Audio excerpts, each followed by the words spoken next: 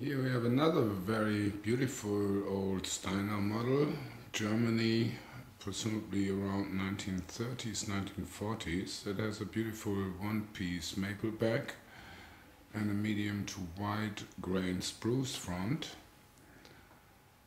The pegs, fingerboard, chin rest and tailpiece are ebony.